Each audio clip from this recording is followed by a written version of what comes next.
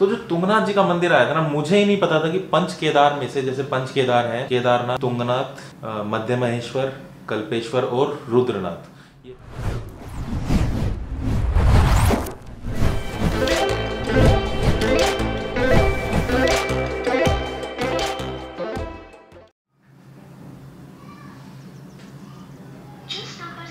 संपर्क करना चाहते हैं, वह अभी स्विच ऑफ़ है। कृपया कुछ समय पश्चात प्रयास करें तो जी अपने एक्सट्रीम मोटो एडवेंचर डीजी भाई तो हो गए स्विच ऑफ़ एक्चुअली उनके साथ मेरा प्लान था उत्तराखंड में पिथौरागढ़ वगैरह उसके आसपास जाने का। एंड टाइम पे कुछ ऐसी प्रॉब्लम आ गई कि मेरा प्लान कैंसिल हो गया। बट अगले दिन यानी कि कल सुबह निकल रहा हूँ एक ट्रिप पे जो कि बहुत बेहतरीन ट्रिप होने वाला है और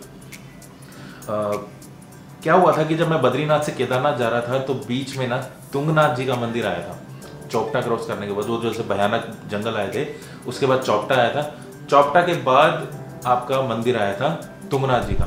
चोपटा देवभूमि में आपका यात्रा मंगलमय हो।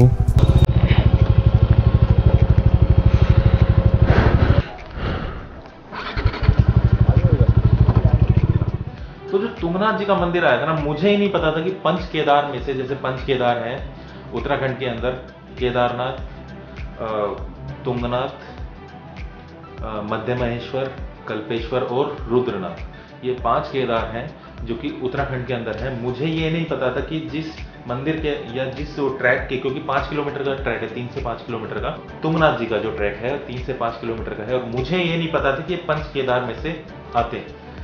मैं आगे से निकल गया था, वहाँ मैंने लंच भी करा था। मेरे मन में ये रह गया कि यार मैं वहाँ से निकल के आ गया और मैंने वो किया नहीं। तो मैं उसके लिए कल सुबह एक, मेरे पड़ोस में ही मोती नगर में रहते हैं भाई, विकास नाम है तो उनके साथ एक ट्रिप शुरू कर रहा हूँ। इसलिए मैं जो प्रिपरेशन कर रहा हूँ कल सुबह की, आप जब ये वीडियो देख रहे होगी तो मैं ट्रिप पे होऊँगा। तो उसके लिए आप लाइव नोटिफिकेशंस ऑन कर सकते हैं मुझे फॉलो कर सकते हैं इंस्टाग्राम पे जो कि आईडी अभी स्क्रीन पे आ रही होगी और फेसबुक पे भी सेम फ़ोटो अपलोड होती है। तो दोनों में से किसी पे या दोनों पे आप मुझे फॉलो कर सकते हो। तो प्रिपरेशन जो है मैं आपको दिखा दूँ। गर्म कपड़े में लेके जा रहा हूँ इस बारी।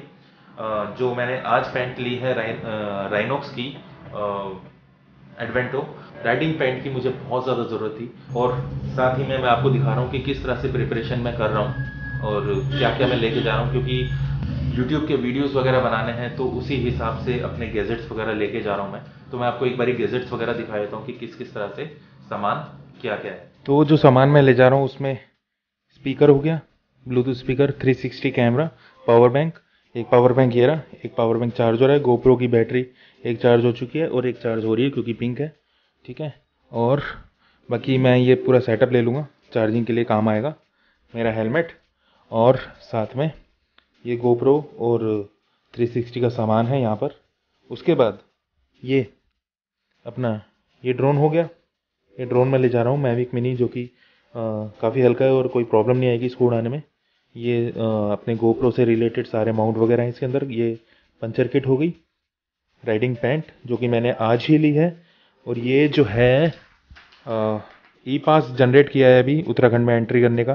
देखो वैसे तो कोई प्रॉब्लम नहीं है कोई रोक नहीं रहा बट फिर भी अपनी सेफ्टी के लिए ई पास निकाल के चलें तो कोई दिक्कत नहीं है। चार धाम यात्रा वाला ई पास है और कोई भी डेट डाल के यार निकाल लो चार पाँच दिन पाँच छः दिन की अ, के अंडर का कोई दिक्कत नहीं है। जब तक आप रुक रहे हो तब तक की एक डेट निकाल के आप चार धाम की यात्रा का निकाल लो। कोई प्रॉब्लम नहीं आएगी निकाल सकते हैं। ये हो गया राइडिंग जैकेट राइडिंग पैंट ये हो गई यहाँ पर। और जो तैयारियाँ हैं वो ऑलमोस्ट डन है। कपड़े इस पिंक बैग में है, जो अभी मेरे राइनोक्स वाले बैग में आ जाएँगे। प्रिपरेशंस जो हैं, वो ऑलमोस्ट डन हो चुकी है, बस पैकिंग पैकिंग करना बाकी है।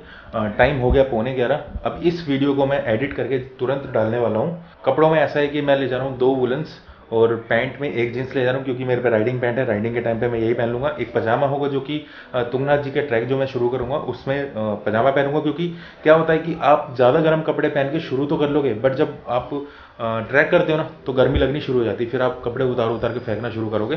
कोई फ़ायदा नहीं है। इससे बढ़िया है कि कम कपड़े लेके चलो, कम कपड़े पहनो। पिछली राइड जो मैंने करी थी बद्रीनाथ, केदारनाथ की, मेरे पास दो सैडल बैग थे। एक कमर पे बैग था मेरी, जो कि पिट्ठू बैग था गॉड्स वाला। और एक टैंक बैग था। तो मुझे ये फील हुआ कि यार मैं अकेला हूँ और इतने सारा मैं सामान लगेज वगैरह लेके चल रहा हूँ। क्यों लेके चल रहा हूँ? तो मुझे एहसास हुआ कि भाई कपड़े रिपीट भी कर सकते हो आप। जो अंडरवियर और वेस्ट वगैरह होती है। आप ये तो है नहीं पिकनिक पे आ रहे हो।